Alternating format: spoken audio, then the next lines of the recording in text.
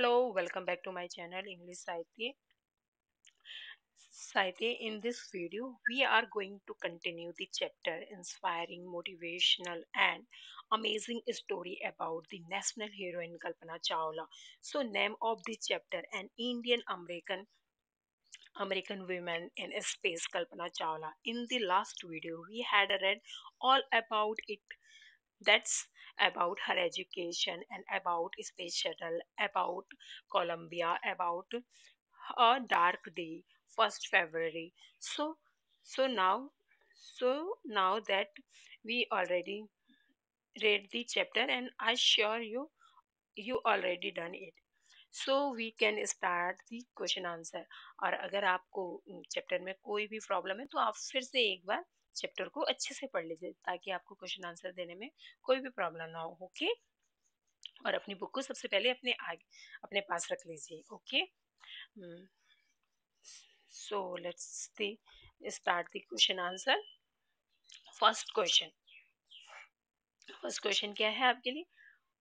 और अगर आपने चैनल को लाइक एंड सब्सक्राइब नहीं किया तो प्लीज़ चैनल को लाइक एंड सब्सक्राइब कर दीजिए, ताकि मैं आपके लिए ज़्यादा से ज़्यादा वीडियो बना, बनाती रहूँ, okay? Where was Kalpana Chawla born why is she called an Indian American Kalpana Chawla का जन्म कहाँ हुआ था और उन्हें भारतीय अमरीकी क्यों कहा जाता है?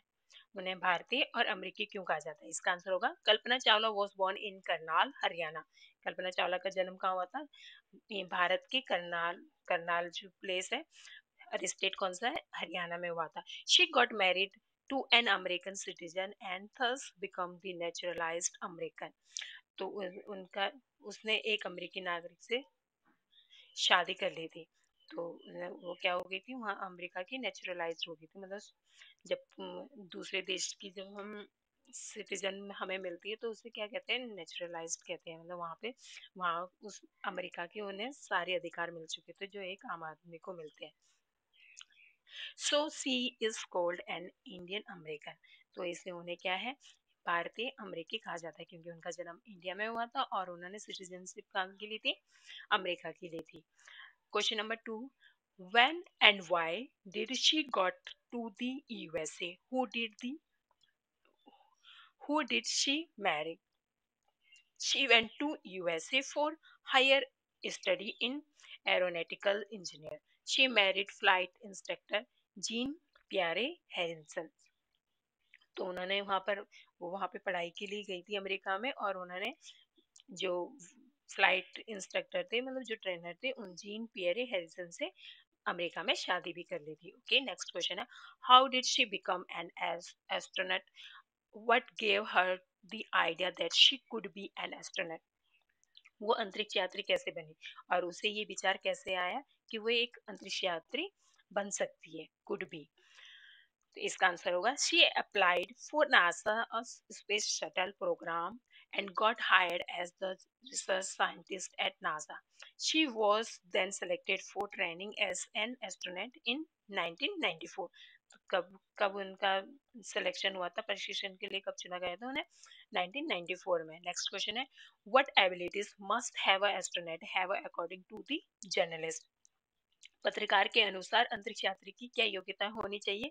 According to the journalist one need to know a lot of about everything biology astro astrophysics and aeronauticals engineering to be as an astronaut तो आप एस्ट्रोनट, कैसे बन सकते हो आप एस्ट्रोनट? आपको सब चीज़ों की कुछ ना कुछ जानकारी होनी चाहिए, जैसे खगोल, भौतिक और वैमानिक इंजीनियर के बारे में मतलब जीव विज्ञान के बारे में मतलब बायोलॉजी मतलब जीव विज्ञान के बारे में। इन सब की क्या होनी चाहिए? आपको नॉलेज होनी चाहिए।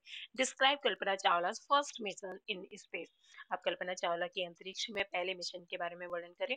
और अगर ये वर्णन आप तभी कर सकते हो, जैसे अगर आपने लास्ट टाइम लास्ट वीडियो को या चैप्टर को अच्छे से पढ़ा हो ओके? अगर अभी भी आपको कोई डाउट है तो प्लीज़ मैं आपको एक बार फिर से कहूँगी आप एक बार चैप्टर को अच्छे से रेड कर लीजिए okay? Kalpana Chawla's first mission in space last 15 days, 16 hours and 34 minutes. She went around the earth 252 time, times. कितने बार अराउंड किया उसने? 252 टाइम्स एंड ट्रेवल कितना था वो? 10.75 मिलियन किलोमीटर था। A Ukraine and Japanese astronaut were also among crew members और जो उसके साथ जो दल क्रू मतलब उसके साथ जो मेंबर थे मतलब जो जो उनका ग्रुप गया था, उसमें यूक्रेन और जापान के भी लोग थे ओके या, अंतरिक्ष यात्री शामिल थे question number six What does Kalpana Chawla say about pursuing a dream? Do you agree with her that success is possible? Kalpana Chawla क्या कहती है कि सपनों को सफलता कैसे मिल सकती है? कल्पना चावल से Kalpana says the path from dreams to success does exist may you have the vision to find it the courage to get on to and wishing you a great journey सपना, सपनों को सफलता का रास्ता मौजूद है मतलब उसके पास, और आपके पास इसे ढूँढने का मतलब विजन होना चाहिए, और इस पर पहुँचने का करेज भी होना चाहिए। मतलब आपके पास कितना साहस है और तो आपकी यात्रा क्या है? अगर आपके पास ये सब चीज़ें तो आपकी यात्रा क्या होगी? शानदार होगी। और इसके लिए शुभकामनाएँ भी दी उसने। Yes I do agree with her that with vision and courage success is possible तो मैं मैं मैं भी इनसे सहमत हूँ कि दूरदर्शिता और साहस से ही सफलता संभव है। नेक्स्ट है read the newspaper report to find the following fact about the Colombia's ill-fated boys. तो इस, इसके सीधा हम इसके आंसर पढ़ लेते हैं ओके फ़र्स्ट ऑफ़ ऑल आप अपनी बुक में पहले खुद ट्राई करो इसको ओके? जैसे इसका फ़र्स्ट है date and place of lift off sixteen January 2003 and number of the astronaut in board कितने थे सिक्स अदर्स मेंबर थे और included Kalpana Chawla one okay तो टोटल कितने हो गए? Seven number of days it stayed in space fifteen days sixteen hours and thirty four minutes आपने chapter में पढ़ा होगा। Number of experiment done by scientist कितने एक्सपेरिमेंट किए थे उन्होंने? उन्होंने एट्टी और नेक्स्ट है डेट ऑफ़ रिटर्न जर्नी वो वापसी की यात्रा, जब वो वापस आए थे तो कौन सी डेट थी? वन फेब्रवरी 2003 और हाइट क्या थी विच हैज़ कॉन्टेक्ट मतलब जिस, जहाँ से उनका कॉन्टेक्ट टूटा तो ये हाइट थी। दो lakh feet okay two lakh feet थी ये। Working with the language match of the following आपको, मैंने क्या है, यहाँ पर सीधा आंसर अपडेट कर दिया है ओके आप सबसे पहले अपनी एनसीईआरटी बुक में देखिए, और फिर इसको फ़र्स्ट ऑफ़ ऑल खुद से ट्राई करो, फिर यहाँ पर आंसर्स को मैच करो ओके अनप्रेसिडेंट स्पेस ट्रेजेडी मतलब मतलब अनभूत, अभूतपूर्व मतलब जो ये ट्रेजिडी हुई मतलब जिसके बारे में किसी ने सोचा भी नहीं था, इस, इसकी मीनिंग क्या होगी?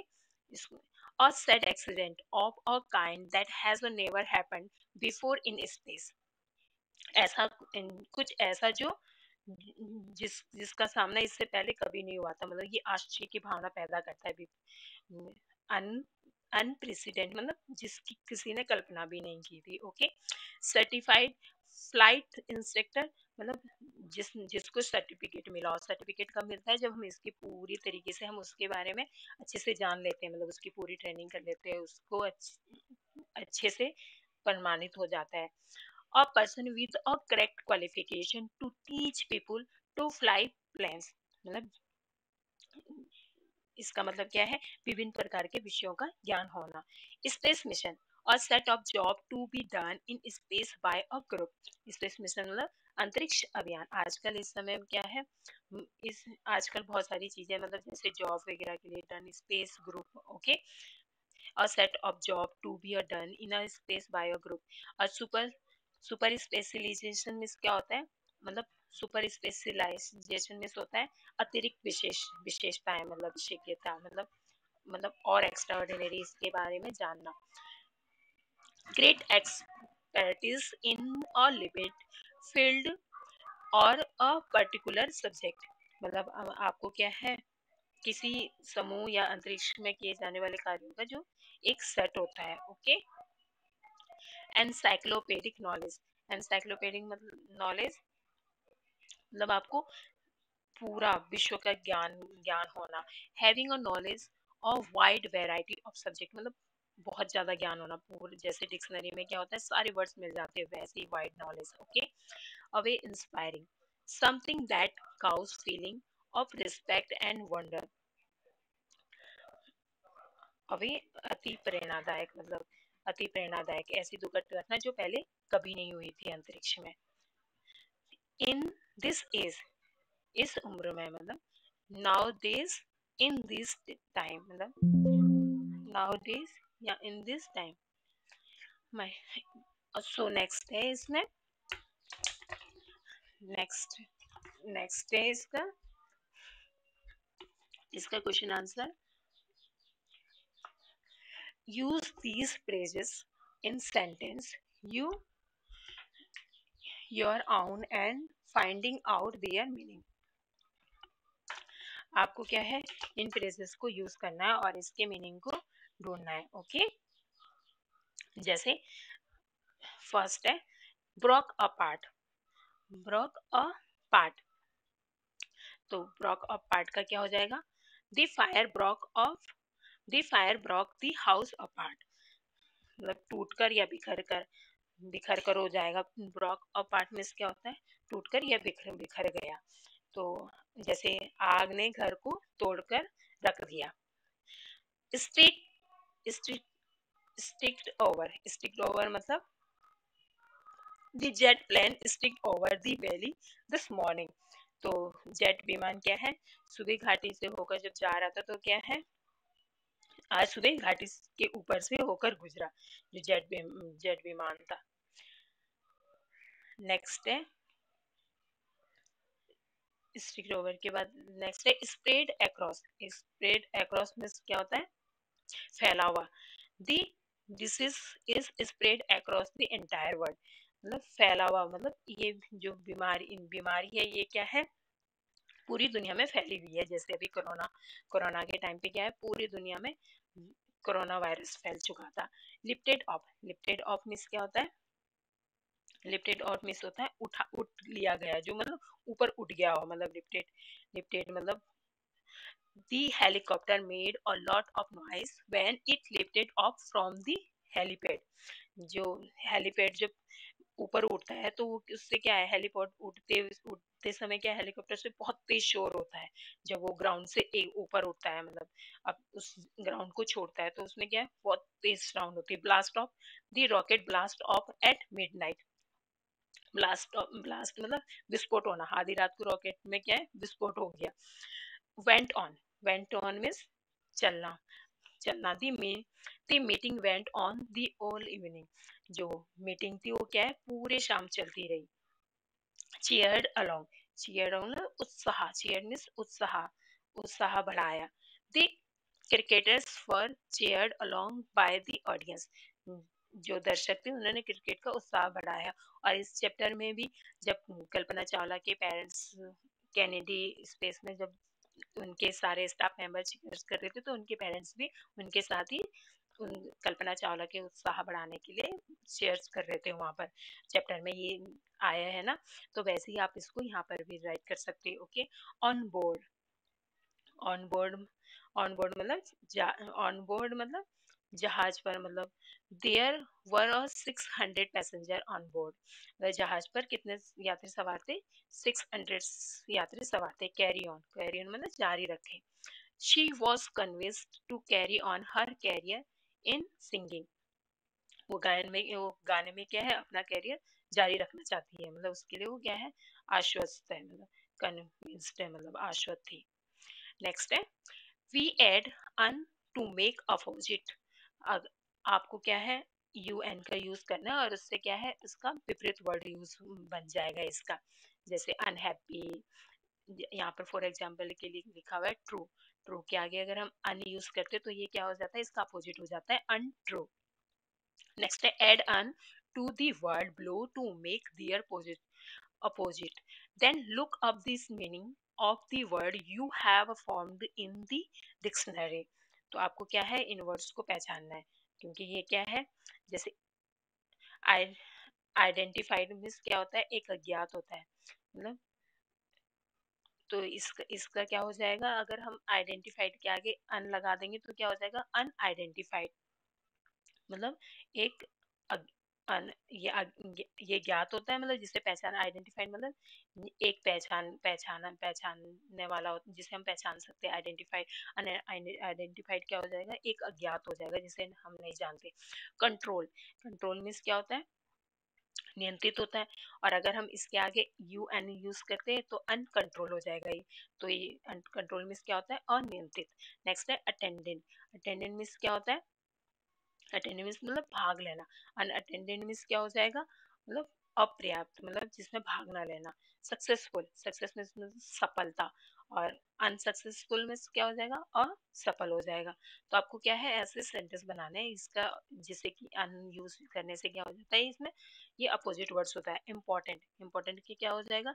अनइम्पॉर्टेंट और एजुकेटेड एजुकेटेड का क्या हो जाएगा? अनएजुकेटेड इंटरेस्टिंग का इंटरेस्टिंग में अन यूज़ करने से अनइंटरेस्टिंग मतलब अनइंटरेस्टिंग मतलब महत्वहीन हो जाएगा मतलब जिस और रुचिकर हो जाएगा अनइंटरेस्टिंग क्वालिफाइड अनक्वालिफाइड मतलब अयोग्य हो जाएगा।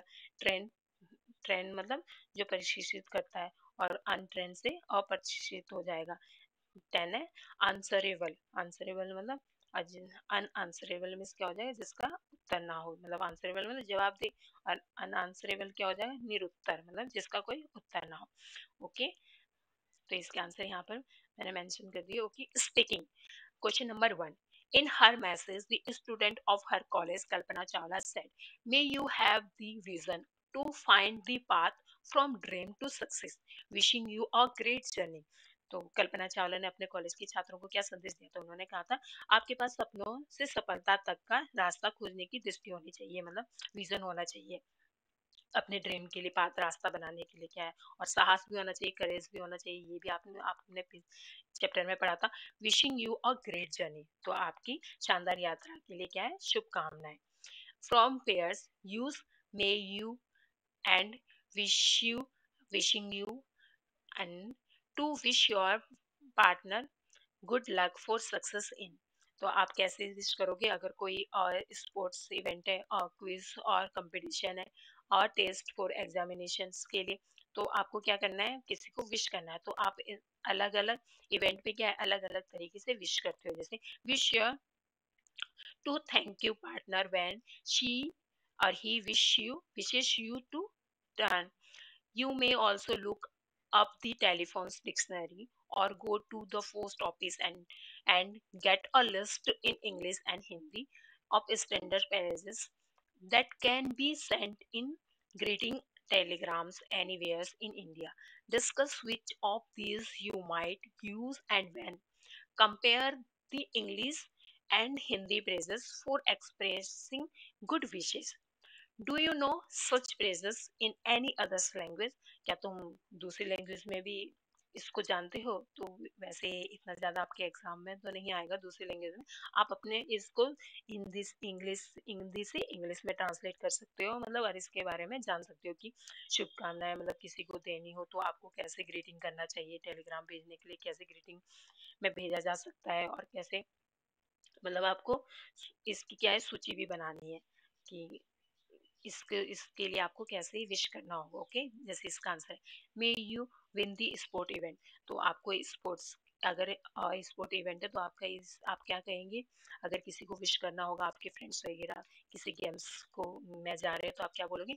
May you win the sport event और नेक्स्ट है। अगर क्विज या कंपटीशन में या कोई एग्ज़ाम देने जा रहे हो तो आप क्या कहोगे I wish you good luck for performing well in the quiz competition तो आपको क्या है, ये आपको डेली लाइफ में भी यूज़ करना चाहिए ओके विश नेक्स्ट क्या है? टेस्ट या एग्जामिनेशन के लिए होगा अगर तो wishing you all the best for your examination तो आपको क्या करना है, आपकी परीक्षा के लिए आपको शुभकामनाएँ। ये आप, ये ये आपके मैनर में होना चाहिए ओके राइटिंग ये है writing part do you have a dream or something you very much wish to do क्या आपका कोई सपना है या कुछ ऐसी चीज़ जिस, जिसे आप करना बहुत चाहते हैं मतलब जिसकी आप, करने की आपकी विश हो? Write a paragraph saying what you want or wish to do. Then say in another paragraph paragraph, how you think you can make your dream come true. तो आपको क्या है? आप क्या चाहते हैं और क्या करना चाहते हैं? आप ये बताने के लिए क्या है? आप पैराग्राफ में लिख सकते हो दूसरे पैराग्राफ में भी आप कैसे कैसे सोचते हो और आपने अपने सपने को साकार करने के लिए क्या किया है? मतलब ड्रीम कम ट्रूज मतलब इसके लिए आपको मेहनत भी तो करनी पड़ेगी तभी तो कम आपकी ड्रीम्स फुलफिल होगी ओके जैसे इसका आंसर मैंने दिया है my dream is to become a scientist and in, invent something useful for society and future future generations. I wish I could make a change in people's lives through that inventions and make things easier or better for them so that they can live happy lives. तो जैसे यहाँ पर क्या है मैं मैंने इसका answer क्या दिया है कि मैं एक वैज्ञानिक बनना चाहती हूँ ताकि जो आगे आने वाली पीढ़ियाँ उनके लिए कोई उपयोगी आविष्कार कर सकूँ, जिससे क्या है, सबके जीवन में क्या है, बदलाव ला पाऊँ और वो आसानी से अपने जीवन को सर्वाइव कर पाए यानी हैप्पीली जीवन को जी सके I think I can make my dream come true by staying strategically. I will have to come and follow a proper timetable for the sum. मुझे लगता है कि मैं अपनी जो मैंने ड्रीम देखा है कि उसको क्या है, मैं साकार कर सकता हूँ मतलब जो मैंने ड्रीम देखा है। मुझे उसके लिए क्या है, टाइम टेबल को सबसे पहले क्या है, किस, किसी भी आप अपने लाइफ में कोई भी टारगेट अपने अगर रखा है तो कि उसको पाने के लिए क्या है, सबसे पहले आपको टाइम टेबल को फॉलो करना होगा, ओके? मुझे लगता है आप लोग सब अच्छे से अपना टाइम टेबल फॉलो करते होंगे। ओके okay, अगर अगर किसी ने नहीं बनाया अपना टाइम टेबल तो फ़र्स्ट ऑफ़ ऑल आप अपना टाइम टेबल बना लीजिए और उसको हमेशा फॉलो कीजिए okay give given below are some words that are spelled differently in British and American English. Fill in the blanks accordingly.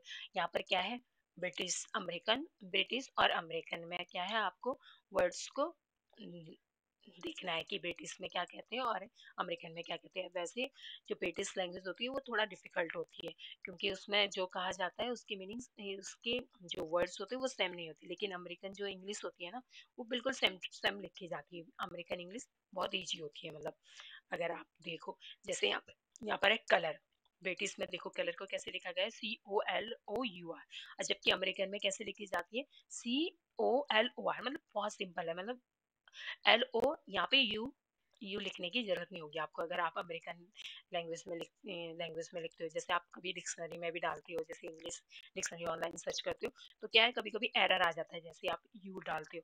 तो क्या है, जो डिक्शनरी है, वो अमेरिकन डिक्शनरी को फॉलो करती है। तो दैट्स वाई वहाँ पर क्या है एरर आ जाता है। तो वो गलत नहीं, वो भी मीनिंग मतलब वर्ड्स आपकी गलत नहीं होती है, पर हम हम जो इंडियन है, वैसे मैक्सिमम टाइम हमारे, हम ब्रिटिश लैंग्वेज को फॉलो करते हैं। ओके जैसे आप यहाँ पर देख सकते हो, जैसे यहाँ पर कलर कलर का क्या हो गया? C O L O R simply मतलब यू को हटा दिया गया अमेरिकन लैंग्वेज में ओके जैसे लेबर यहाँ पर भी यू को हटा दिया गया है, यहाँ पर जैसे बोला जाता है ना अमेरिकन लैंग्वेज में, वैसे ही लिखा जाता है, जैसे लेबर तो लेबर को लेबर की वैसे ही लिखा गया है एज ट्रेवलर तो यहाँ पे क्या है? डबल एल यहाँ पे क्या है? सिंगल एल है।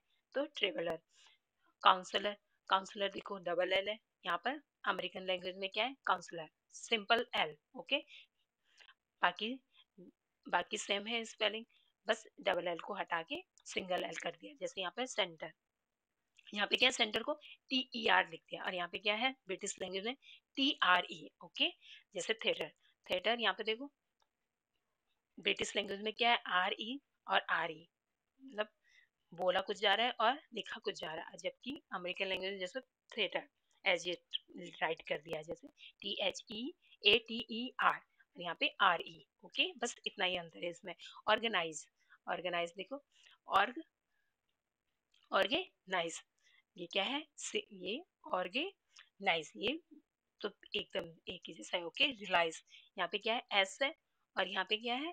जेड लिख दिया है ओके और ये क्या है? डिफेंस यहाँ पे क्या है एस एस राइट किया गया है, क्योंकि एस अमेरिकन लैंग्वेज में जैसे पढ़ा जाता है, वैसे लिखा जाता है डिफेंस एस और यहाँ पे क्या है सी ई डिफेंस या क्या, यहाँ पर क्या है ओफेंस और यहाँ पे क्या है ऑफेंस बस सी और एस का अंतर है ओके आप वैसे देख सकते हो, बहुत सारे वर्ड्स और भी आते हैं हमारे, जैसे चैप्टर में बहुत सारे वर्ड्स रहते हैं अमेरिकन और ब्रिटिश में आप डिफाइन कर सकते हो कि इनमें क्या अंतर है.